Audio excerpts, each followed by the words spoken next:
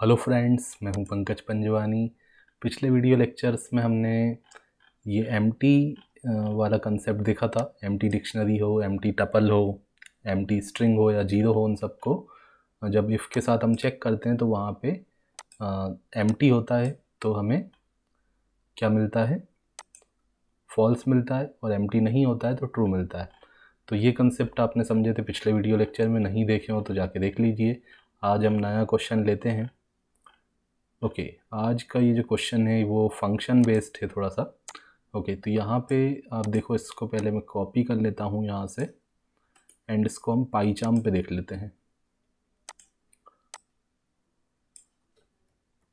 Okay okay, तो यहाँ पे आप देखो एक फ़ंक्शन हमने डिफ़ाइन किया हुआ है नाम दिया हुआ है एफ़ फाइव कुछ भी नाम हो सकता है। एंड इस फ़ंक्शन का वर्किंग हमने यहाँ बता दिया है। फ़ंक्शन के अंदर तीन वेरिएबल्स हैं एंड ये फ़ंक्शन रिटर्न कर रहा है। ओके। तो ये फ़ंक्शन तो बना हुआ है, लेकिन चलेगा कब? जब हम कॉल करेंगे। तो यहाँ से हमने इसको कॉल किया है। तो ये वाली लाइन से हमने इसको कॉल किया तो जैसे ही कॉल किया तो कंट्रोल यहाँ जाएगा, जहाँ पे ये बना हुआ है। एंड एक्स वाई जेड के अंदर ये वैल्यू असाइन हो जाएगी। एंड रिटर्न क्या होगा? X plus y z and y plus forty x plus y करोगे तो क्या हो जाएगा? टेन प्लस ट्वेंटी थर्टी हो जाएगा। मतलब इस प्लेस पे हमें थर्टी मिलेगा। मैं कमेंट में लिख के दिखा देता हूँ। एक्स प्लस वाई का जो रिज़ल्ट आएगा वो थर्टी आ जाएगा कॉमा जेड के अंदर थर्टी है तो थर्टी ही रहेगा। ठीक है कॉमा जेड लिखा है मतलब थर्टी रिटर्न होगा and y plus forty y में है ट्वेंटी तो ट्वेंटी प्लस फोर्टी किया तो सिक्सटी तो ये वैल्यू हमारा फ़ंक्शन रिटर्न करेगा कहाँ पे? जहाँ पे वो कॉल हुआ था मतलब यहाँ पे। ठीक है, यहाँ पे ये वैल्यूज़ रिटर्न होंगी। ठीक है रिटर्न होंगी तो यहाँ पे ये तीन वैल्यूज़ जा रही हैं। तीन वैल्यूज़ मतलब रिटर्न हो रही हैं ना तो ये एक तरीके से टपल है। ठीक है? एंड टपल को हम असाइन कर रहे हैं तीन अलग अलग वेरिएबल्स में। ठीक है? टपल्स की वैल्यूज़ को हम तीन अलग अलग वेरिएबल्स में डाल रहे हैं कोमा सेपरेट करके। तो यहाँ पे क्या होता है ना, जो पेकिंग अनपेकिंग वाला कंसेप्ट चलता है मतलब ये जो पहली वैल्यू थर्टी है वो जाएगी पहले वेरिएबल एक्स में दूसरी वैल्यू थर्टी जाएगी दूसरे वेरिएबल जेड में, तीसरी वैल्यू सिक्सटी जाएगी, तीसरे वेरिएबल डबल वाई नाम का जो वेरिएबल दिया हुआ है। एंड फिर उनको प्रिंट कर देंगे। प्रिंट किस तरीके से किया है? देखो सीक्वेंस देखो। पहले प्रिंट किया है डबल वाई को। तो डबल वाई के अंदर क्या गया था? लास्ट वाला वैल्यू सिक्सटी तो डबल वाई का वैल्यू सिक्सटी प्रिंट होगा पहले। फिर कॉमा लगा दिया है। फिर क्या हुआ? एक्स को प्रिंट किया है तो एक्स के अंदर क्या क्या गया है? पहला वैल्यू थर्टी तो थर्टी आएगा। एंड जेड का वैल्यू भी थर्टी था। ये सेकंड वाला वैल्यू थर्टी गया जेड में तो यहाँ भी जेड प्रिंट हुआ है तो थर्टी प्रिंट हुआ है। ठीक है तो ये इसका आउटपुट रहेगा सिक्सटी थर्टी थर्टी इसको मैं रन करता हूँ। तो ये देखो सिक्सटी थर्टी थर्टी आ गया। ये कंसेप्ट अगर आपको नहीं पता है ना x comma y comma comma comma करके कैसे वैल्यू डालते हैं तो एक अलग से मैं आपको दिखा देता हूँ चलो यहाँ दिखा देता हूँ। देखो, इस तरीके से हम वैल्यू डाल सकते हैं।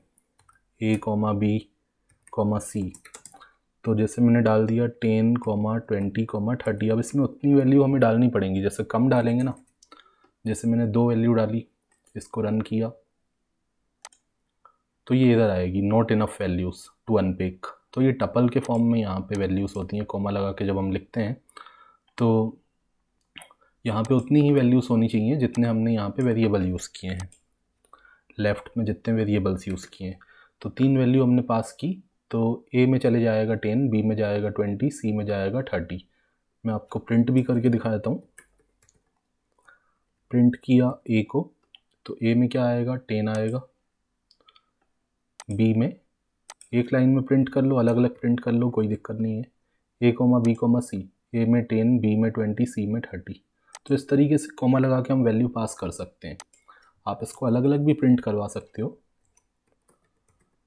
प्रिंट किया बी को तो सेकंड वैल्यू जो था वो बी में जाएगा मतलब ट्वेंटी बी में गया और थर्ड वैल्यू थर्टी सी में गया। ठीक है? Ten twenty thirty. तो यही चीज़ यहाँ पे भी हो रही है। एक्स प्लस वाई का जो रिज़ल्ट आया x plus y ten twenty thirty हो गया था एंड जेड का वैल्यू थर्टी था तो thirty and y plus forty मतलब वाई में था twenty twenty plus forty, sixty. तो ये तीनों वैल्यूज़ इस तरीके से यहाँ पे रिटर्न हुई एंड यहाँ एक्स जेड डबल वाई के अंदर पास हो गई एंड यहाँ कुछ अलग अलग सीक्वेंस में हमने प्रिंट करवा दिया तो उस हिसाब से यहाँ पे आउटपुट आ गया। दूसरा क्वेश्चन देखते हैं, इसी से रिलेटेड है। तो सेम क्वेश्चन हमने यहाँ भी लिख दिया। मतलब सेम जो कोड था, वो यहाँ भी लिखा हुआ है। बस चेंज क्या कर दिया? यहाँ पे कोमा की जगह इक्वल असाइनमेंट ऑपरेटर को यूज़ किया। ये इक्वल नहीं है असाइनमेंट ऑपरेटर बोलते हैं। तो यहाँ पे क्या चेंज आ जाएगा? ठीक है कॉपी किया, इसको मैं पेस्ट कर देता हूँ यहाँ पे। ठीक है। तो बस ये चेंज हो गया है कॉमा की जगह इक्वल असाइनमेंट तो असाइनमेंट का कंसेप्ट मैं आपको बता देता हूँ, जैसे यहाँ पे मैंने कर दिया। अभी आप देखो, यहाँ पे क्या आ रहा था? टेन ट्वेंटी थर्टी मतलब पहली वैल्यू गई ए में, दूसरी गई बी में, तीसरी गई सी में। अब अगर मैं ना यहाँ पे क्या लगाऊँ? असाइनमेंट ऑपरेटर यूज़ कर लूँ। तो असाइनमेंट ऑपरेटर के कंसेप्ट में क्या होता है ना, तीनों में सेम वैल्यू चले जाएगी। तीन हो, चार हो, जितने वेरिएबल हो। तो जब सेम वैल्यू असाइन करनी होती है तो हम ये असाइनमेंट ऑपरेटर लगा के एक साथ कर सकते हैं। तो यहाँ पे जब सेम वैल्यू डालनी होती है ना तो तीन वैल्यू डालनी ज़रूरी नहीं है। ऐसा ज़रूरी नहीं है कि तीन वेरिएबल हैं तो तीन अलग अलग वैल्यू डालनी है, डाल भी सकते हो। बट अगर आप एक सिंगल वैल्यू भी डालोगे ना तो वो सिंगल वैल्यू तीनों में चली जाएगी। ठीक है? जैसे मैं ये टेन डालता हूँ। टेन डाला तो तीनों में टेन आ जाएगा। ए में भी टेन बी में भी टेन सी में भी टेन लेकिन जब तीन वैल्यू डाली तो तीन वैल्यू अलग अलग वेरिएबल में अलग अलग नहीं जाएगी. ये तीनों वैल्यू सभी में जाएगी. मतलब टेन ट्वेंटी थर्टी ए में भी जाएगा टेन ट्वेंटी थर्टी बी में भी जाएगा टेन ट्वेंटी थर्टी सी में भी जाएगा. तो ये एक टपल के फॉर्म में यहाँ पे पास हो जाएगा ए बी और सी में. तो ये देखो ए में भी टेन ट्वेंटी थर्टी आ गया बी में भी टेन ट्वेंटी थर्टी सी में भी टेन ट्वेंटी थर्टी तो ये इस तरीके से होता है। तो यहाँ पे भी वही होगा, ठीक है? जब यहाँ पे फ़ंक्शन कॉल हुआ F5 से हमने फ़ंक्शन का नाम लिख के हमने कॉल किया F5 फ़ंक्शन को तो इसमें एक्स वाई जेड के अंदर ये वैल्यूज़ हैं टेन ट्वेंटी थर्टी एंड यहाँ पे कुछ इस तरीके से हमने रिटर्न किया है। मैं फिर से आपको कमेंट करके बता देता हूँ। एक्स प्लस वाई किया तो टेन प्लस ट्वेंटी हो गया थर्टी कॉमा जेड की वैल्यू थर्टी है। एंड y प्लस फोर्टी किया तो कितना आ जाएगा? y में ट्वेंटी था तो ट्वेंटी प्लस फोर्टी सिक्सटी हो गया। एंड यहाँ पे वही चीज़ हमारी रिटर्न होगी। ठीक है? तो ये कुछ इसी तरीके का तो लिखा हुआ है जैसा मैंने यहाँ लिखा हुआ है। ए बी सी लिया है। यहाँ पे एक्स वाई जेड के फॉर्म में एक्स जेड डबल वाई है। ठीक है? तो यहाँ पे थर्टी एक्स में जाएगा थर्टी जेड में जाएगा, ऐसा नहीं होगा, क्योंकि कॉमा नहीं लगा हुआ। यहाँ पे क्या होगा? ये पूरी वैल्यूज़ एक साथ एक वेरिएबल में जाएँगी, फिर एक साथ दूसरे वेरिएबल में जाएँगी, फिर एक साथ तीसरे वेरिएबल में जाएँगी। ठीक है? तो ये टपल के फॉर्म में जाएगा मतलब एक्स के अंदर भी थर्टी थर्टी सिक्सटी जाएगा जेड के अंदर भी थर्टी थर्टी सिक्सटी जाएगा एंड डबल वाई के अंदर भी थर्टी थर्टी सिक्सटी जाएगा। एंड यहाँ कुछ भी प्रिंट करवा लो तो थर्टी थर्टी सिक्सटी आने वाला है। इन तीनों में से कुछ भी सीक्वेंस कुछ भी दे दो डबल वाई भी थर्टी थर्टी सिक्सटी देगा एक्स भी थर्टी थर्टी सिक्सटी देगा जेड भी थर्टी थर्टी सिक्सटी देगा। मतलब तीनों एक एक टपल देंगे हमें। इसको रन करते हैं। ठीक है तो आई होप कि समझ में आया होगा आपको। कोई भी डाउट है तो आप कमेंट करके बताइए।